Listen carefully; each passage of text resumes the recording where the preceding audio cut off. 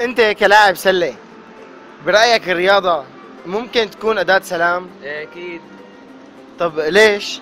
آه، لأنه في كثير من النوادي بيدعموا جمعيات خيرية ومنظمات كمان يعني بتشتغل آه، كمان للجمعيات الخيرية.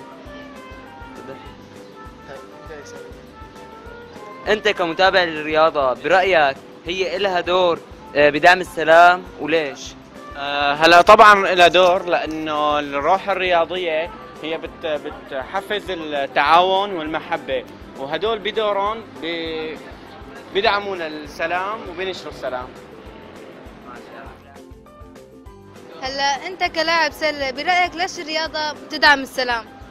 طبعا بتدعم السلام لأنها بتشكل اهتمامات كثيرة عند الناس و يعني بتعمل تقارب وهيك شغلات بالعين وأنت كمتابع للرياضة شو برايك تدعم هلا الرياضة بتعزز مفهوم هلا الرياضة بتعزز مفهوم المواطنة بالمجتمع مثل قبول الخصم وقواعد معينة. بما إنك أنت لاعب سلة. أنت برأيك إنه ال- ال- الرياضة لها علاقة بالسلام؟ أكيد.